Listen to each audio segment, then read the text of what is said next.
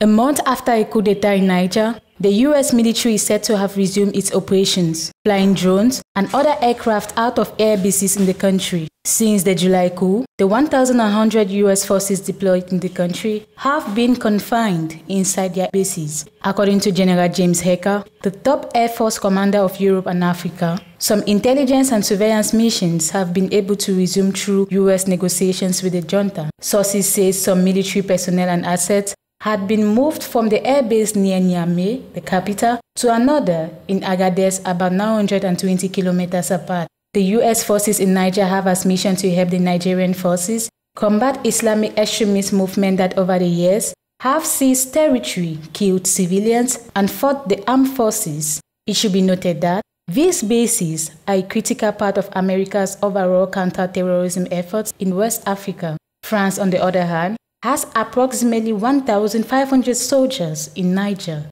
but it should be recalled that Niger's military leaders have called for the withdrawal of the French military from the country as it remains an ally of the ousted President Mohamed Bazoum.